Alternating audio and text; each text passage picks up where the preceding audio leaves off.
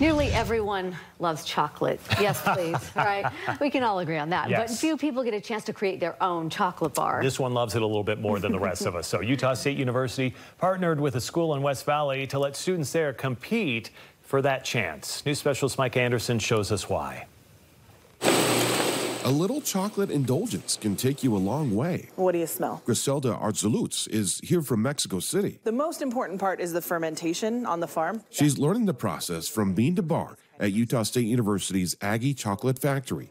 But what actually got her to Utah was a chance to learn English. We read Charlie and the Chocolate Factory, and then at some point in the book, I announced to them this, this project. Mark Sanderson is a teacher at American One English Schools in West Valley, and one year he decided, why not take that a step further? By having um, a competition, students take the reading more seriously. Arzaluz getting to make her winning chocolate bar idea today. Pistachios from my childhood. The idea is simple. Chocolate from, from my whole life. The process complex.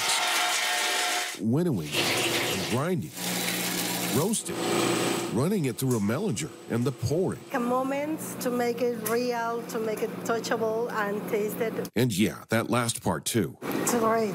And it is a pretty big deal to see your creation become real, just like the stuff here at the store. It's why the folks at the factory want to expand this program eventually to a statewide competition.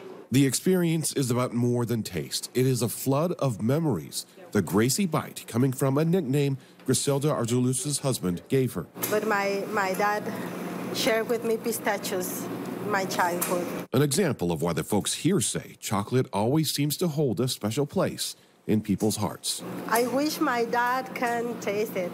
In Logan, Mike Anderson, KSL 5 News.